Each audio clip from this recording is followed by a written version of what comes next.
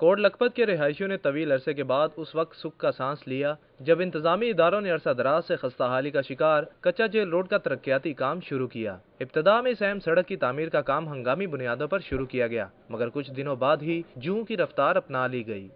ਰਾਤ ਵੀ ਬਿਲਕੁਲ ਸਲੋ ਹੈ ਮਰਜ਼ੀ ਨਾਲ ਠੇਕੇਦਾਰ ਕਰਦਾ ਹੈ ਕੰਮ ਜਿਹੜਾ ਨਾ ਸਲੋ ਹੋ ਰਿਹਾ ਉਹਦੀ ਸਬਬ ਕੁਛ ਵਾਪੜਾ ਹੈ ਕੁਛ ਵਾਸਾ ਵਾਲੇ ਨੇ मकीनों के मुताबिक मुतलका इदारों ने इस रोड को कलील वक्त में मुकम्मल करना था लेकिन मौजूदा रफ्तार देखकर लगता है कि कोई पाँच साल मंसूबा शुरू कर दिया गया है लोगों का कहना है कि अगर मुंतखब अवामी नुमाइंदे यहाँ का दौरा करें तो शायद मुतलका इदारों की कारकर्दगी बेहतर हो जाए ਨਹੀਂ ਸਾਡੇ ਕੋਲ ਅਜੇ ਤੱਕ ਸਾਡੇ ਤਾਂ ਕੋਈ ਨਹੀਂ ਆਇਆ ਕਿਉਂਕਿ ਅਫਸਰ ਹੀ ਆਉਂਦੇ ਜਿਹੜੇ ਕਿ ਵਿੱਚ ਲੱਗੇ ਨੇ ਸੜਕਾਂ ਵਾਲੇ ਜੇ ਅਫਸਰ ਨੇ ਉਹ ਹੀ ਆਉਂਦੇ ਨੇ ਉਹ ਕਦੀ ਆਏ ਨਹੀਂ ਇਸ ਰੋਡ ਤੇ ਕਦੀ ਦੇਖੇ ਹੀ ਨਹੀਂ ਉਹ ਬਸ ਉਹ ਆਉਣਗੇ ਹੁਣ ਜਦੋਂ ਇਲੈਕਸ਼ਨ ਆ ਜਾਏਗਾ ਉਦੋਂ ਸਾਨੂੰ ਆਣ ਮਿਲਣਗੇ ਕਿ ਜਨਾਬ ਅਸੀਂ ਤੁਹਾਡੇ उम्मीदवार हैं भाई वोट